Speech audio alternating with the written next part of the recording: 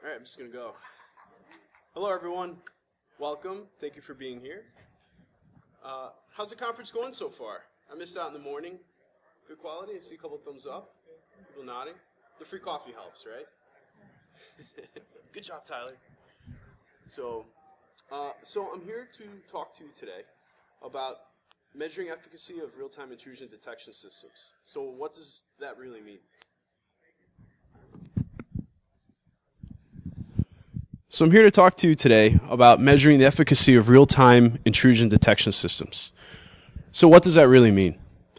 IDS is actually not a new technology, right? People here have heard of Snort, and I could do a quick Wikipedia, but I'll leave it up for somebody here in the audience to do that. But it's been around for a while. I want to say since at least the late 90s, early 2000s. Uh, HoneyNet, HoneyNet project has been around for a while too. And so those two specific domains all about looking at network traffic, right? What's going on in the network. And obviously that matters to us because we have information systems that we need to protect. We live in an increasingly connected world. It seems like it took a while for news media to catch on, and a lot of people usually reference Target or even Sony. But since some of those major attacks happen on name brand stores that we take advantage of every day through commerce. Uh, it seems like every couple days on the news, whether it's Reddit, the Register, even the Guardian, New York Times, Wall Street Journal, you name it, some venue out there is covering some sort of cyber attack. And nowadays, folks don't even go to media outlets for the insider information or to get notified quickly. They go to Twitter, right? And we follow folks in the field. Uh, one person I tend, uh, happen to follow called Malware Unicorn um, was recently listed as one of the InfoSec professionals to follow. And the reason why I follow her on Twitter was one of her tweets was, "Hey, uh, on a long flight home, I created a packet analysis uh, coding in Python on a plane." So these are the people that are actually leading the field, right? And these are the people to pay attention to. And why is that? Because these technologies that have been around for a little while may not necessarily be keeping up to date with the evolution of attacks. Why is that? Data. Everyone's heard the term of big data before. And what does it mean? Data is context based, right? So, in other words, the value of the information you have from the data depends on how you look at it and what's important for you, and of course, how you analyze it. And so, we're going to talk a little bit about that today and the application of machine learning techniques to data to better detect, analyze, and ultimately prevent network-based attacks. This is important because it's no secret that there's a shortage of information security professionals out there. And even if you were to throw a whole bunch of people at the problem, which is great because then there's jobs and, uh, you know, salaries increase as well, right? Based on demand. It's a market solution.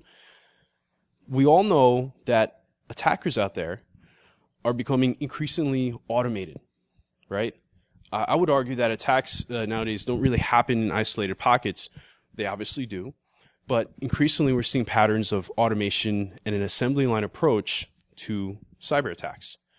And so, as cybersecurity professionals, our job is to try to analyze the data and come up with actionable intelligence as quickly as possible and in a relevant manner so that we can better protect the business.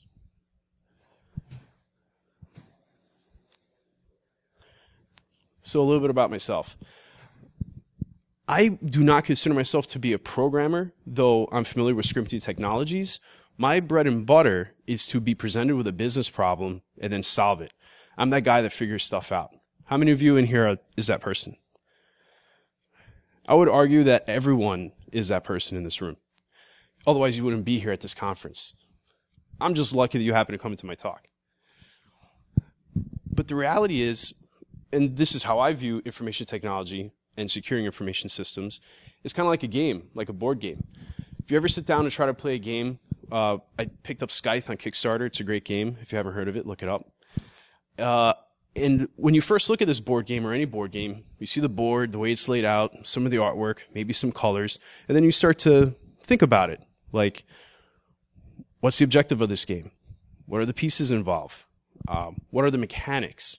Right? And then you play the game once, you get your butt kicked, right? And you're like, oh, that was kind of rough. I kind of don't get it. But then you play the game a second time and a third time, and it starts to click. It starts to make sense. You start to see uh, maybe how you lost and why you lost. Maybe you start to strategize a little bit. And before long, through practice, you start to become an expert in that system. In my opinion, this applies to my approach to informa- information technology and how most people approach information technology. But the tricky part is because of data, how do we do so in a manner where we can react quickly to the emerging threats that exist out there and the state of change?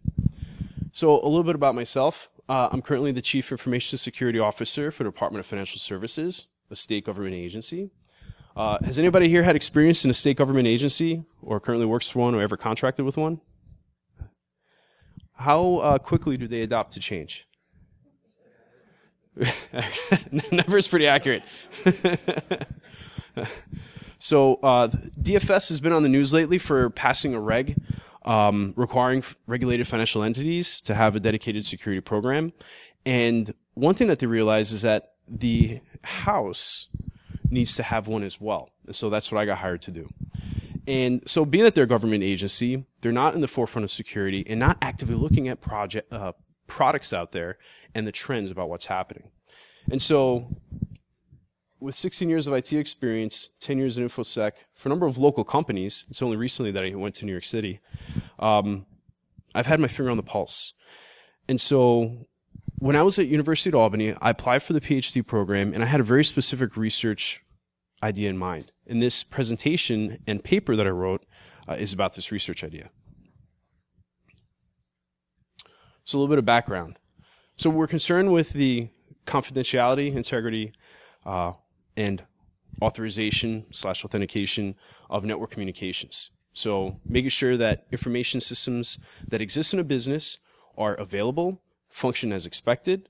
And of course, with IDS technologies, right, understand, detect, uh, record any attempts to circumvent controls, right? So some businesses, especially government agencies, may or may not have a policy in place. Fortunately, there's an enterprise ISO office and they have a slew of policies. So that becomes a starting point. From there, you develop uh, standards, procedures, and you bake that into a technology to uh, derive value, right? Because it's an investment. Typically, IT is a cost center, so we want to maximize that investment. In other words, IT isn't cheap, especially when you're paying for support or contractors. And obviously, we know that firewalls work pretty well. Um, Checkpoint has a wonderful firewall system. I'm familiar with that because I used to administer it for the Public Service Commission. They even make it so simple. There's a GUI. I don't have to uh, play around on the command line like I used to do uh, back in my Albany Med days, where everything was just one line scripts and you would feed it through. So as things have changed over time, and we have wonderful GUI systems, that also means that if you have port 80 open for web traffic and communication, obviously that could be a potential exfiltration point. How many of you are actively monitoring web communications? All right. And so we typically rely on a managed service provider to do that for us. But if someone were browsing the web for, say, SourceFire, and an activity occurred where the ONU is switched, is no longer SourceFire, right? Uh, that could potentially bring you to a different web server. Would you be able to detect that? And would you be able to respond? So the reason why I bring that up is because of the final bullet, context-aware computing. So the ability to discover and detect changes in the environment, and I would say unexpected changes in the environment. So you probably have a, a, background on this, and there's a lot of text on this slide, but we're concerned with network protocols, right? TCP, specific sequence network communications, redundancy, checksums, um, user datagrams. We don't really care about the data being sent uh, out and back to us in the order, right? Video streams, things of that nature. And of course, ICMP, I frequently find in environments where uh, I've been an administrator in, security administrator, that ICMP is often not configured to be uh, either rejected or controlled in a specific manner. So ICMP is more than just a packet. Most people are familiar with that from a ping perspective, but it's actually an entire protocol suite that uh, could potentially be abused and often is. So for this particular research idea, I want to look at these three protocols. So more definitions and background. Intrusion detection, we already spoke about that a little bit, detecting actions that compromise uh, CIA of a resource, right? And uh, most importantly, detect actions that attempt to subvert. So that's good, but that's only half the pie, right? And so let me know if this situation scenario is familiar. You're at a company and they know that having IDS be able to detect stuff on a network is a great idea. So they go through a list of vendors, right? And maybe they're going through several vendors and have some interesting um, demos and dog and pony shows. And after listening to how they describe the wares and how the offerings will work in their environment, they end up management, executive management, ends up making a choice based on the cheapest priced, supposedly 24 by 7 availability of support, supposedly ease of use, because the demo always works, right? And of course, the best company t-shirt design. Who here, whenever you see the Splunk booth, always runs for the free t-shirt? Pretty good, right? Marketing works. so finally, the company picks uh, an appliance, a vendor, whatever. And so the question is, what now? What do you do with that? Can you set it and forget it? Oftentimes, a company will simply outsource it because that's the easy answer. So what if, what if there's more to it? And how do you even know that the chosen IDS partner is effective?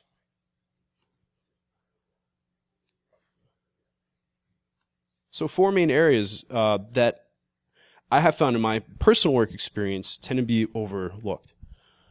So a policy that actually dictates effective monitoring and response. So are you actively looking at the uh, traffic? what do you do when you see something interesting? How do you prioritize that and respond appropriately?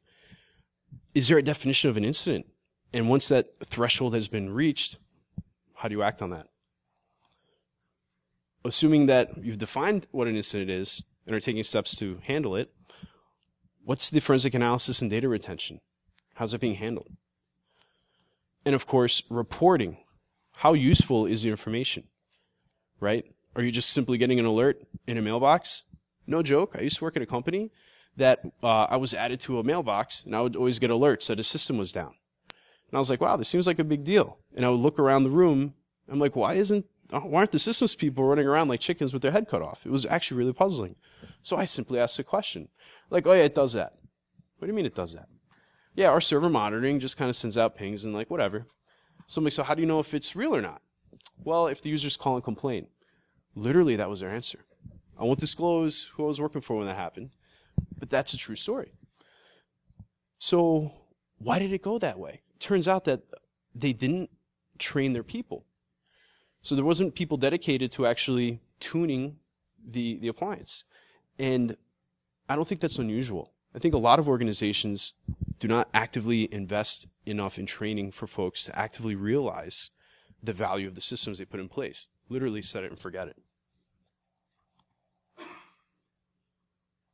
So what are the different types out there? Uh, network-based, this is what this talk is going to focus on. Um, but there are others out there, some that reside on a host, an agent that's configured. Um, we have some examples up there. And also, you have physical systems as well. Often we'll kind of take that for granted. Anybody here have an ID card you just hold up to a door? Right? Anybody staying in a hotel room tonight? Right? All examples. Even your uh, wireless key entry for your car. But oftentimes, and maybe the car is a bad example in that regard, um, oftentimes those systems have monitoring in place, right, to detect unauthorized attempts. I can't tell you any place that I've worked at where they actively looked at logs to see, hey, is there a regular instance of people trying this door or trying a key? Uh, I'm pretty sure uh, a place that I've worked at before, name withheld, had office services that set up cards, and I'm convinced they didn't even um, ask for the cards back. I know this because I still have my card. So you can't just set up the system. There has to be follow through. So what's the next step beyond detection? Obviously prevention. So if we're talking about network-based attacks and network-based intrusion detection, the next step would be intrusion prevention. So, hey, we detected uh, an attempt at an intrusion or compromise. Uh, let's prevent it from actually affecting the host. And of course, log it.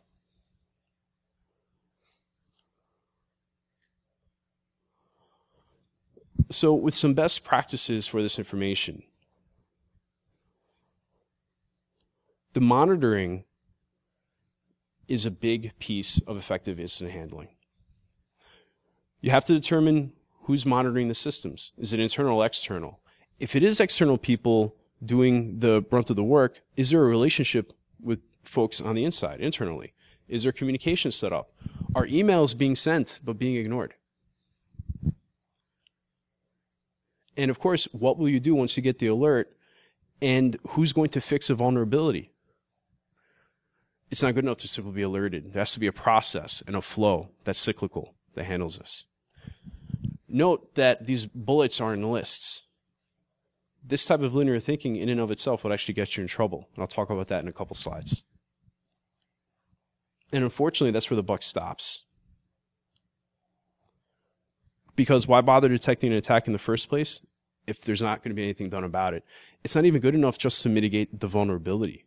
How do you learn from it so that it's not uh, an action that's repeated? So you're not wasting time and resources. I don't know if any of you are aware, but time is not a renewable resource. And if you figure out how to make that renewable, you'll be rich. Let's talk.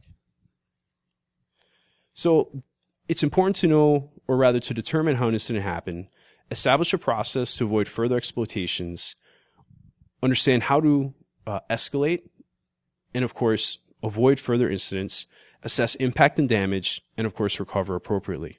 And finally, update procedures as needed. How many of you walked into a workplace and asked to see a knowledge base article and uh, saw that maybe they were four or five years outdated? Anybody work into a support area and they're like, yeah, we, we don't really know how to help people when they're out in the field, so we kind of give them the admin password. Happens. And so if that happens, how do you effectively detect if someone's doing uh, privilege escalation or if a regular end user is logging into um, a local machine and, and abusing it? You can at that point.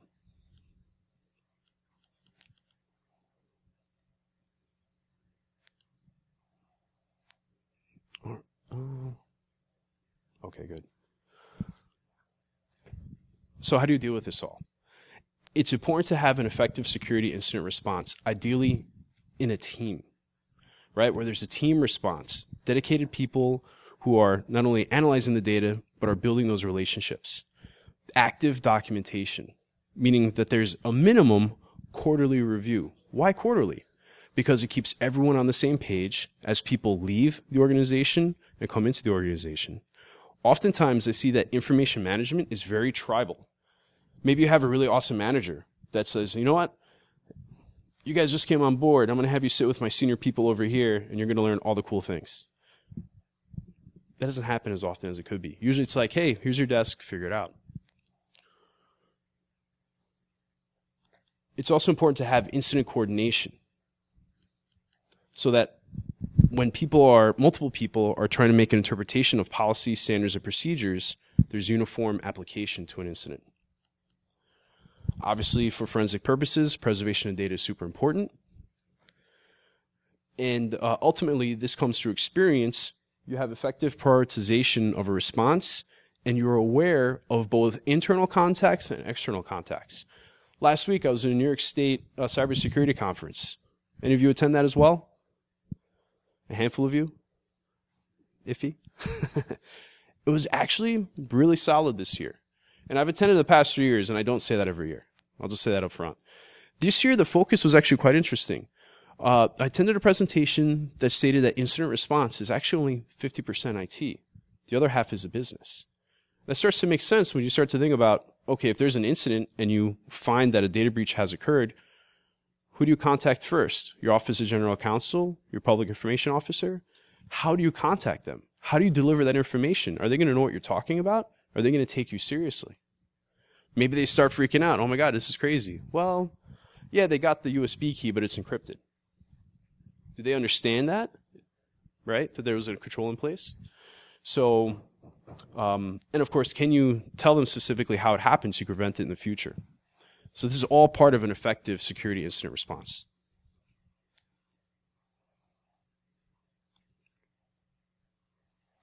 So let's get a little bit more. So that's pretty much all background. Let's get a little bit more into the the nuts and the bolts, nuts and the bolts here. So there's two main detection techniques.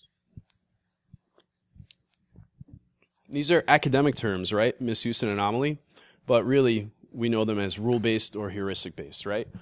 Rule-based, we know what it is, and so we have a signature that can detect it, and we're good. Antivirus software works that way. Auto updates all the time. Anomaly-based isn't quite machine learning. It's just looking at patterns of behavior, right? Like, okay, given a set of executables on your machine, is one example, um, let's detect for buffer overflows, right? If data is being inserted uh, before or after a boundary, right? This is not a machine learning technique, but it's a heuristic looking at behavior. So those are the two main technologies. They've actually been around for a while.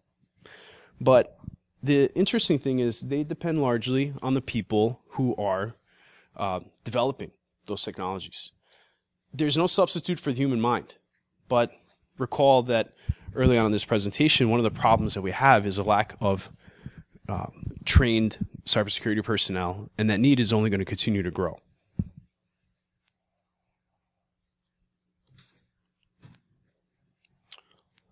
Whoops. So try to make the text a little bit big here, but this slide is actually kind of important.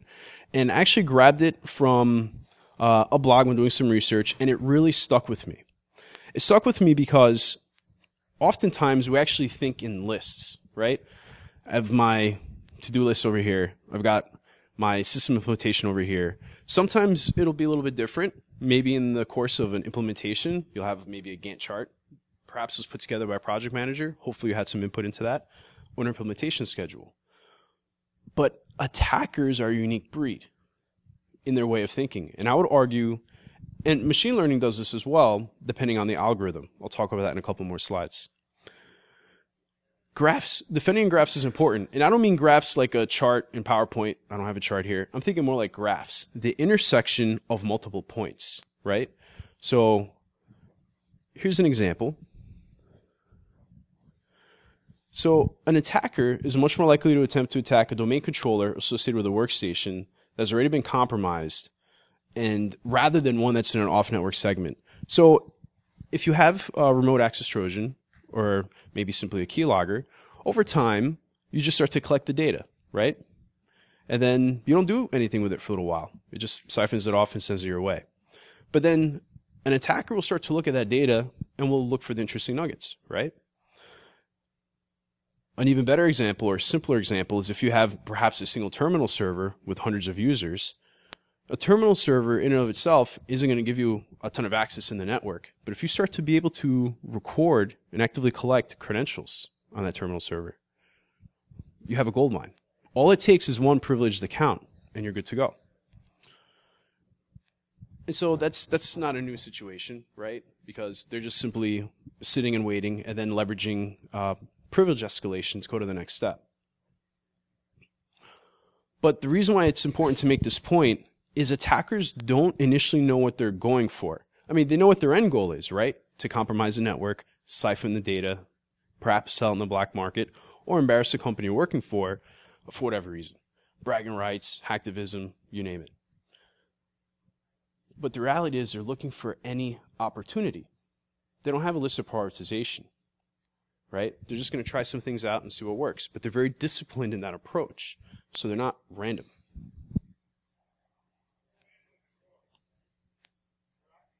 So I honestly can't take credit for this quote, but I was browsing the web and I couldn't find out uh, where it is. But the point here is, with all that's going on, it is super important to automate as often and as much as realistically possible. To have the computers do the work for you, right? Uh, who here has used the lazy sysadmin website?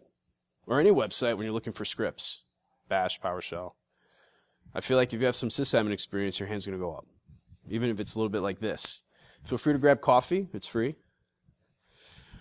But I wanted to make this point because oftentimes an organization, executives who, who don't have a, a mind for this stuff, and I'm not saying that to be insulting, I'm saying that their priority is somewhere else in the business, right? So it's up to ourselves as technical professionals, whether we're the consultants ourselves or working in that shop, to make this point that it's worth the investment and worth uh, tuning that investment so we realize that value.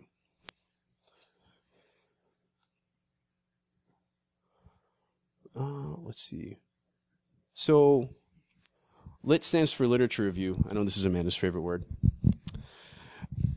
So, how do we measure efficacy, right? Measure is a key word. So, in the application of testing something out, right, we need something that's a standard. The knowledge, uh, knowledge data, oh, knowledge discovery and data mining conference, an international conference back in 1999. Yes, that's 18 years ago. In conjunction with the U.S. Air Force, simulated network attacks over a nine week period and generated over 7 million events. And not only did they generate all that traffic, all that traffic, every single packet and every TCP stream is tagged and documented for what's considered normal and what is simulating an attack. So what that does is it creates a baseline. Super helpful. Now, there's some issues with that. I'll talk to I'll talk a little about that in a couple slides. The glaring part is obviously what happened in 1999 does not reflect what's happening now in 2017. But it's still super useful. And there's four main categories that this data set falls into. So when coming up with a new technology and understanding whether or not it actually has a positive impact, you have to be able to measure it. So this provides a baseline in the standard to do that.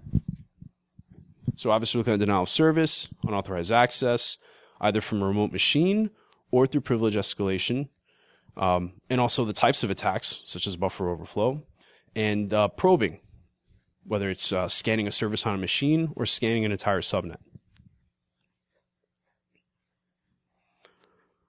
So it is actually the current standard, believe it or not, because there's nothing newer to replace it.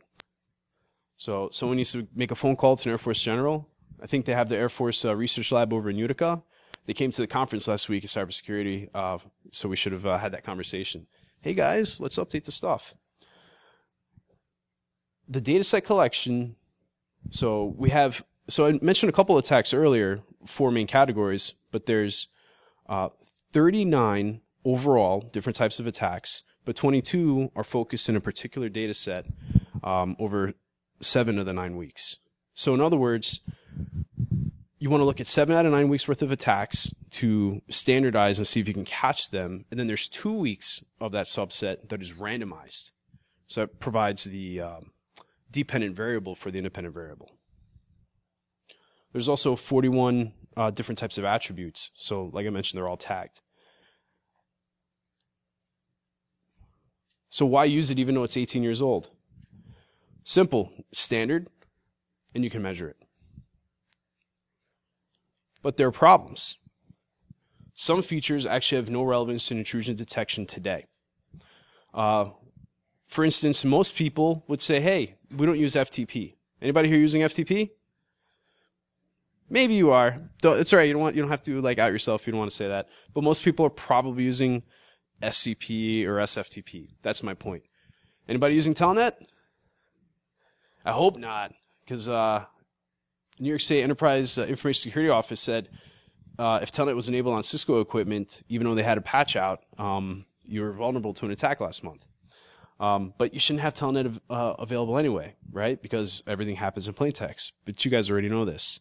So some, my point is some of this information is included in that data set that we would just say, you know what? We have a policy in place. No Telnet in our environment. No FTP in our environment. Everything's using either uh, secure channel, certificates, IPsec, whatever. Um, and of course, uh, some of the features that they have there, like number of file creation operations, you probably don't care that a file is being created, right? You, what you care about is to detect that unauthorized intrusion before a file was created, um, whether that's um, an executable being unloaded or uh, data being accessed or whatever. And also, some features have grown in sophistication and aren't being used anymore. So apparently, they featured a piece of malware called Warezmaster? W A R E Z. And warezclient? I can't think of anything in the recent past that has featured that type of exploit. Can you? Obviously, some of the problems with something 18 years old. So it would benefit from, from a serious update. Also, Nmap. So they actually have Nmap scans. So Nmap was being used in this data set in 1999. Give it up for Nmap. And I don't know if you saw that on Twitter. They recently updated it um, in time for the Summer of Code, right? And they were proud of themselves because uh, it was in time for DEF CON. Um, so people can play around with it. I love Nmap. And what wasn't around in 1999 that is now is Nmap's uh, TCP/IP fingerprinting technologies and techniques, which have been around for a while, but not 18 years ago and of course the Nmap scripting engine. And would modern uh, IDSs, IPSs be able to detect that? I don't know. Maybe, but it's tough to know for sure without a standard data set that you can measure. All right. And so why use it at all. It's because data classification matters. Um, so ideally, have online and offline network intrusion detection. We'll just assume all online. Ideally, what we're looking to do is detect misuse and anomalies in the network traffic. With the tags, you can actually map those, map those attempts. So let's talk a little bit about machine learning. So a little bit of background. The algorithm that you use matters, right? And the approach to the data that you use matters. Um, you have Monte Carlo simulations, you have decision trees, you have supervised learning where people are looking at the results of the algorithm being applied and then tweaking it accordingly. You have unsupervised learning where you just let the machine figure it out, right? And uh, you know, good real world examples are anybody watch any YouTube videos of Google's DeepMind project beating a Go champion? Uh, I think in the past three months was it young Chinese person. I think he's 19 years old. I forget his name, and uh, he ex- was expected to win, and that didn't happen. And notice this trend over time, right? In the late 90s, it was uh, IBM's Deep Blue that won chess, right? And I forget the number of combinations of moves in chess. It's something like in the order of millions. But I know Go is literally an order of uh, billions, so infinitely more complex. Uh, than chess. And so in our lifetime, this is actually an important point.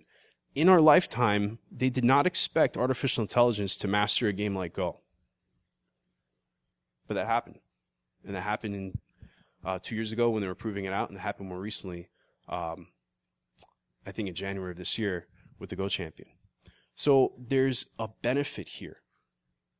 There's a huge benefit here to understand what's going on in the network and prevent the bad guys from getting in.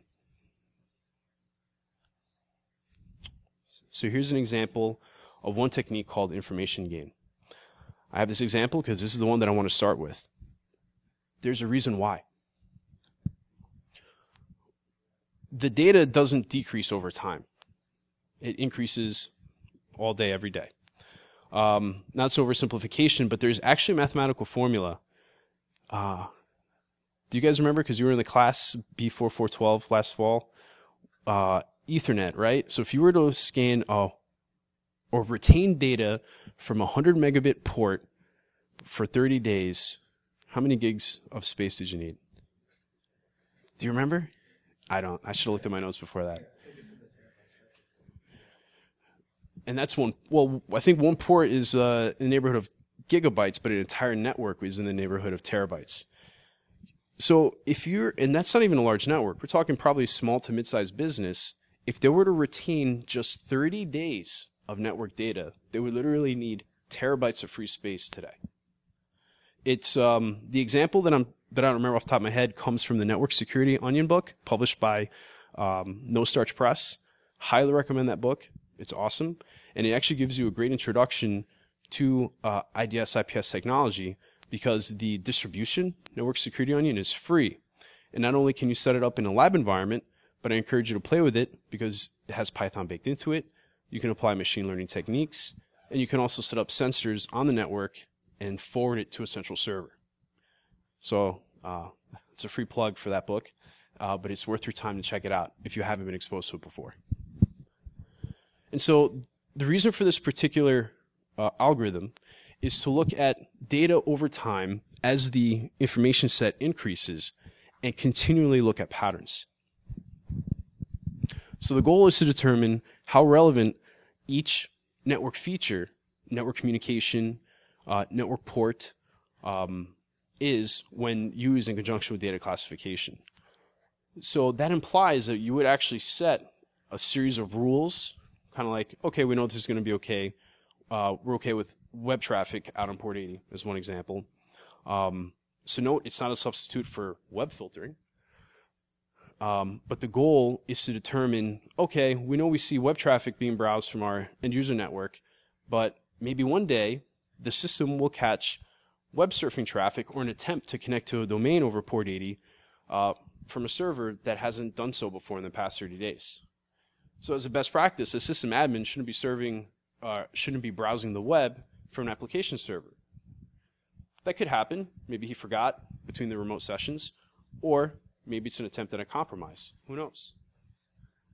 An IDS system today may not actually catch that unless you were to build some sort of uh, rule in place to do it specifically. Here, what I'm advocating for is that the technology learns and says this is abnormal behavior. I haven't seen this before. Snag it and alert. As you build confidence with the system, you flip the switch to prevent. And so we take what, what was created with the KDD set and build your own template for a list of attacks and apply the machine learning techniques to the data classification. And so I frame this in the form of a research question because, like I started this presentation before, this is an idea for uh, my PhD, which I suspended to get this wonderful job opportunity in New York City, but I hope to continue one day. So given the model for information gain, can we determine the efficacy today using the KDD 99 set, and can we apply it in the future? And so I'm looking at three different methods. Can we det detect the DDoS attack? Uh, can we detect standard usage of the Metasploit framework, right, using modern day vulnerabilities because we know that using data from 18 years ago might give us a baseline but is inadequate.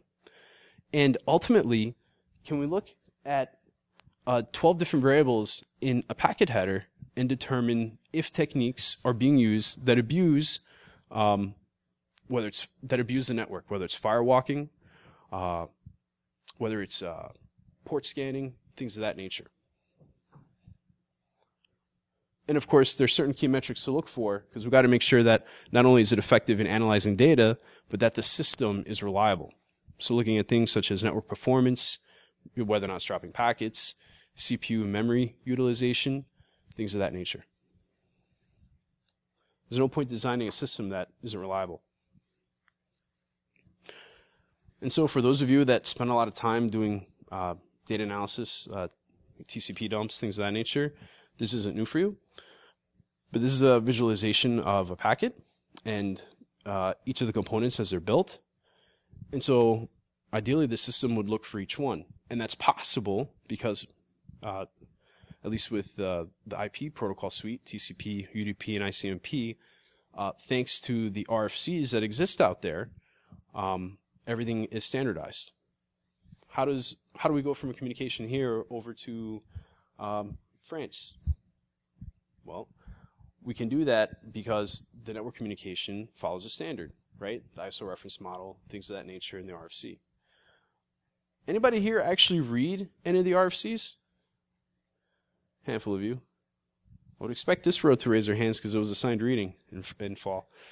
Uh, anyone want to take a guess the year that uh, TCP was released as a as a standard? Excuse me. 1984. I actually don't know the answer off my head but I know it was in the early 80s. but that surprises people because people are like, nah, the internet happened in the 90s. And no, networking is happening prior to that. Um, and even uh, before email was a system, they created the protocol SMTP to send messages. Email as a system came after SMTP. SMTP, the ability to send a message, was literally just a message, like on your screen, uh, prior to the email system. And that uh, also predates the 90s. There's a reason why I bring that up. I encourage you to do it's freely available. It's actually just text files. There's a library out there that IETF uh, publishes. Take a look at some of these RFCs. There's some good technical information in there. And the reason why I mention that is because in those RFCs are rules for how data communications occur. So if you know the rules of a system, right, going back to the game mentality, what can you do? You can start to maybe play with those rules, right? Maybe see where things can be meant. Maybe see how a system expects a communication to arrive and how a system expects to receive it, and of course how it expects to send it. And that's how you manipulate it, right? So anybody knows that, well, I should I shouldn't take that for granted. I'll take a step back. Who here has ever used a command line to send an email message and actually type the SMTP commands? A couple hands. Cool. I remember when I first did that. It actually kind of blew my mind away because I took for granted the fact that I would use an email client, a piece of software that did it for me automatically. Big fan of Pine in the Unix system. Um, and when I uh, did this simple exercise, probably 2000, 2001, um, way back in the day. You guys even born that? Some eyebrows raised. Um, it blew my mind that this is what actually happens behind the scenes. And that's the point that I'm trying to make. Nowadays, everything is a screen. Everything is a presentation, right? So what happens underneath that presentation in the layers is super important. And I would argue for the audience here, most of you are very comfortable getting in the weeds. But I think as newer generations of InfoSec professionals come up through the ranks, it's increasingly important to encourage them to have that kind of exposure, right? So being this is a hacker conference, any of you visiting the hacking lab today? Today or tomorrow? All right, I see a couple hands. I'll be honest, I expected a couple more hands to come up. If you didn't have a plan to go there, go there and just ask somebody, have a conversation. Hey, mind if I check out what you're doing over here? And just see how they're manipulating the data in the command line. Because that sets you up for success, not only to understand what's happening uh, behind that presentation layer, but to understand how the systems are interacting. So we'll drive a little bit deeper. So we saw this is a visual representation of the TCP packet. Here's the actual data points. And so these are bits. And so it, there's basically uh, a numerical rule set that creates these boundaries. So these boundaries are for us as human beings to read this stuff and make sense of it.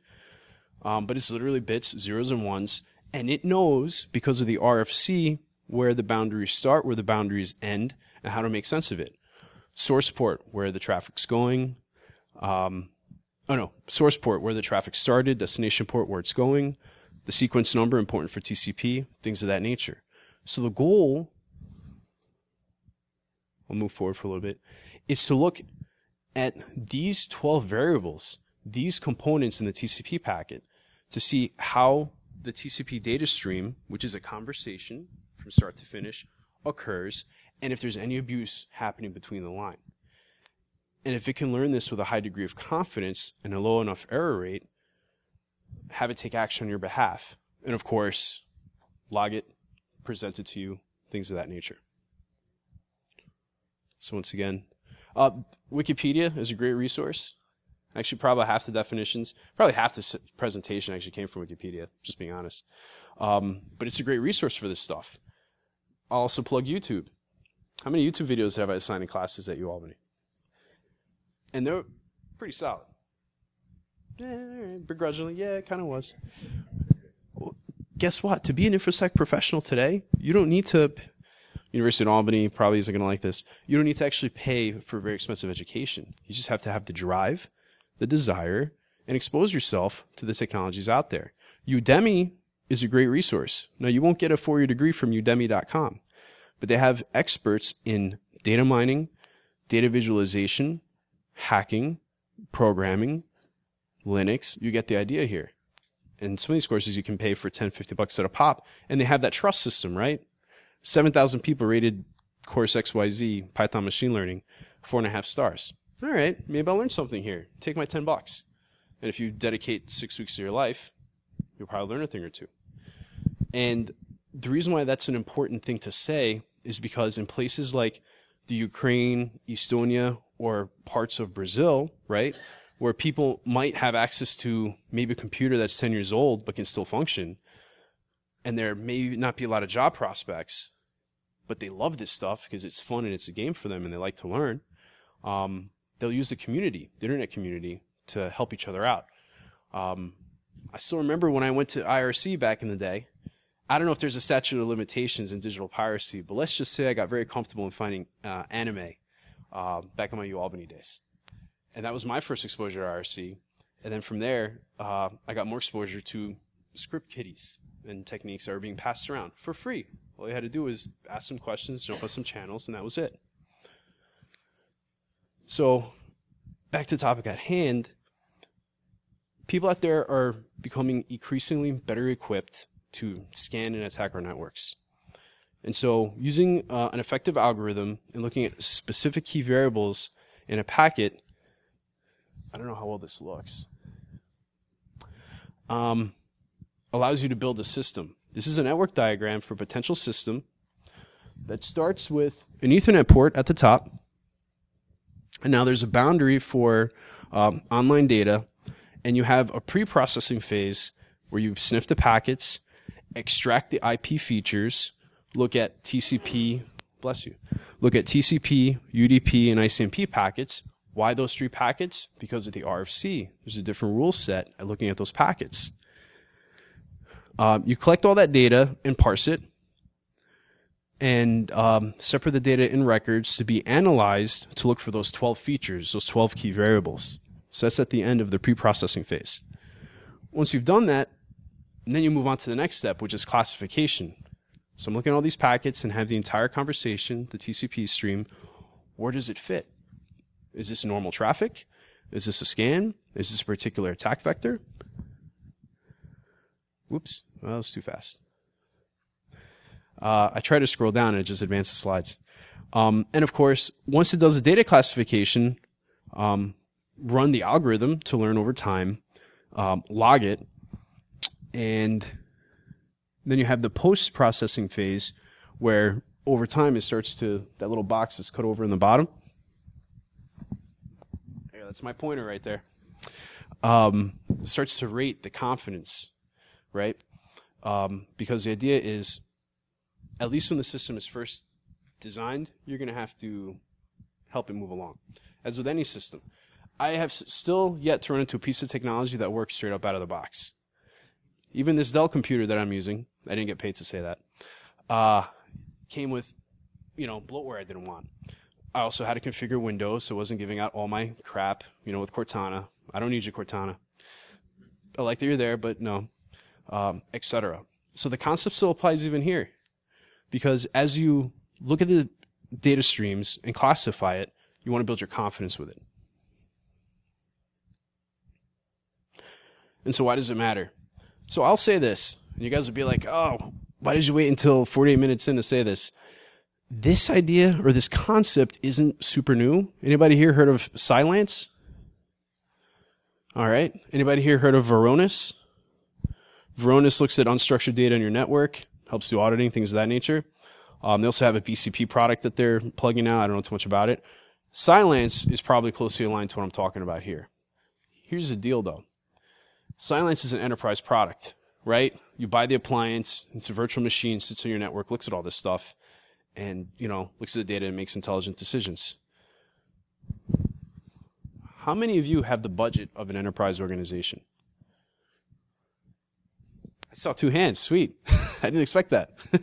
so you might be able to afford Cylance and it might work great. Um, and they keep, and this is what I love about the product actually. They keep bringing it to hacker conferences and encourage people to hack against it to make their systems smarter. That's effing brilliant because people are like, yeah, I'll do the challenge, and they're basically training their system for free. How many of you have a smartphone? Pretty much everybody, right? And even your mother, maybe your grandmother has one now, right? You've been like, get rid of the flip phone, go to the iPhone, we can do the FaceTime. And now you became their ad hoc tech support. Are there any products that exist out there for stuff like this for you and me? For grandma? Who might fall for that phishing email or uh, that website that says, hey, pay, pay your NIMO bill for $250, and if you don't, I'm going to cut it off? Now, we know that happens sometimes in phone calls and stuff like that, but it does happen in emails as well. So, my point is, you and me, the average Joe person who doesn't have the budget of the two hands that are raised in the room, do not have access to stuff like this.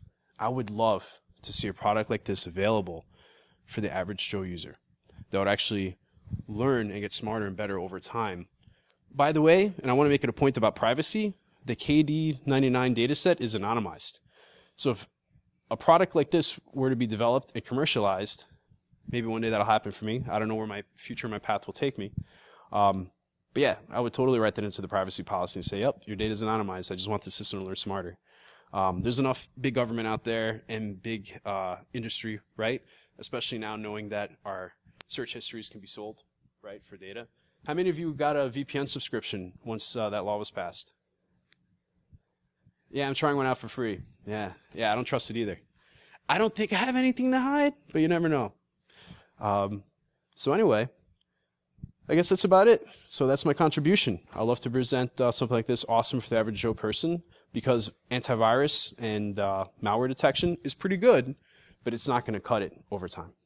So, thank you.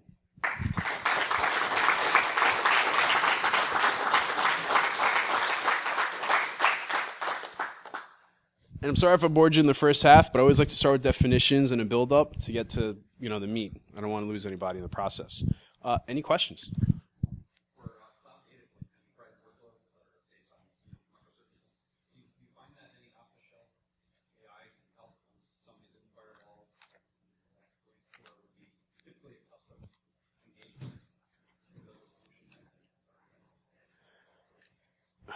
That's a great question. I actually don't act, do not actively play with existing technologies now. I do know that I, there's probably a lot of Splunk users in the room ish. I'm a, I'm a big fan of Splunk, and it actually has to be tuned. So Splunk lets you build uh, obviously the intake right and helps you standardize that intake. But I found that it's very clunky to use, and you can actually tag a lot of the data and build dashboards. So basically, it's not machine learning because Splunk isn't getting smarter over time, but it makes it easier for guys like you and me to look at that data. And so, yeah, I, I detect something weird here because it matches the dashboard rule, right? Maybe it's SSH probing, right? Maybe it's maybe it's firewalking. Is there uh, an IP address doing sequential scanning? You know, things like that. So, is there an off-the-shelf product that does that now? Uh, I I don't know. Once they're in the system, is that what you said? And actively using an exploit?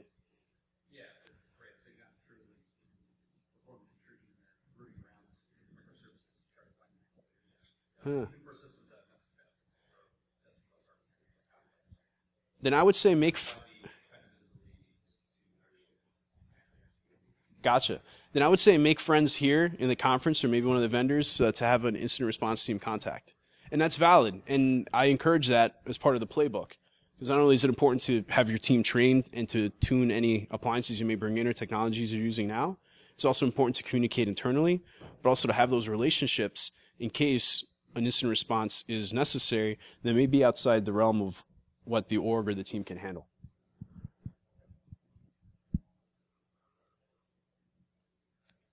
And I hear Verizon has a pretty good team. They only put out that report once a year. So, any other questions or even comments? I wish I had something to offer you like free beer or ice cream, but once again, there's free coffee. Everyone, thanks for your time. Appreciate you being here. This is great.